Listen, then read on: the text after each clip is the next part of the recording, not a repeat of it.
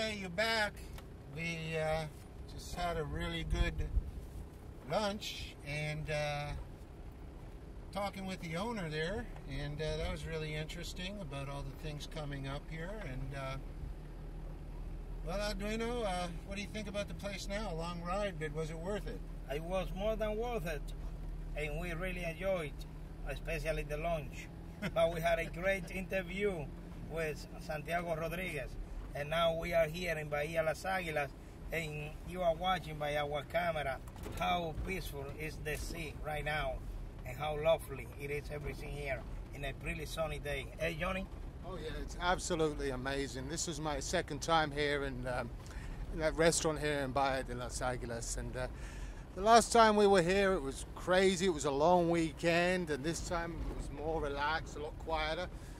Probably pretty much to the fact that uh, it's off season, but they those guys are still busy. We saw some buses coming in. You know, Mr. Rodriguez told us that all his tents is uh, are full for this weekend. The boats were still going out on the cave tours, and now we're making our way back. Uh, we're going to find a place to stay tonight. Uh, don't know where, but we'll find something. and now we're uh, going to be coming up to this big, old kind of deserted boat. Uh, it's been, run aground years It's ago. run aground, so we're going to probably take some snaps of this, and we're just taking a, a ride, a slow ride along the uh, the coastline here. It's absolutely gorgeous. I love this water. Why don't I, you guys talk a little bit about uh, what's going on about? Uh, oh, sure. With uh, you know the, the happenings around here. Of, Absolutely. Um, from uh, our conversation, we uh, sat down and had our meeting in Spanish with Santiago. Uh, he was a little shy, but he was telling us a lot of good things. Uh, there is an airport here now.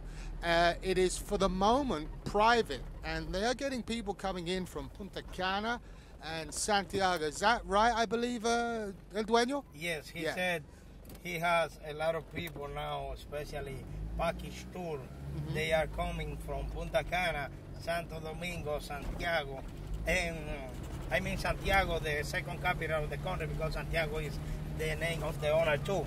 Yeah. And he said really soon, in about six or eight months, there is going to be another project already built over here, which is going to be managed by him. And he was talking us too about the new airport is going to be done over here. I mean, it's going to be made. Yeah, that's right. And uh, he was saying to us, you know, some of the planes are coming in with like 50, 60 people. And, um, you know, the, the, the, the, big hotel bigwigs, uh, you know, they're having their uh, back and forth sits downs with the current president, Danilo, about getting approval to turn that into an international airport, make it bigger. If you've uh, noticed from around here in our filming, there's a lot of wide open land here, so it's pretty easy to put an airport in here. Uh, also, from what Santiago was telling us, um, he gets international people coming here from France, Japan, the US. It's a wide range of people. Um, there's a lot of big things going on. He said they're planning a, I believe, a 1,500 room hotel. I think that's what he was saying. But I Johnny, something like yes. that, yeah? And he was talking about the population of here, around here, is only 30,000 people and how safety it is. is he said is only 1% of criminal things if it is that they happen. Exactly. Uh, 1%, you know, is very, very low any part of the world. And it's number six, the province in the country? The sixth biggest. Biggest. Here, the yeah. sixth biggest place. So, you know, there's a lot of things going on around here, guys. And, you know, today we were blown away. Santiago was very graceful. Uh, he gave up his time. He's a very busy man. He's oh, yeah. he's also got some uh, other projects going on that you know that uh, we'll be looking into in the next couple of months. I know that Barry and me will definitely be coming back. I'm sure uh, Dueño. I mean, he's crazy to come back. He's only been here two days.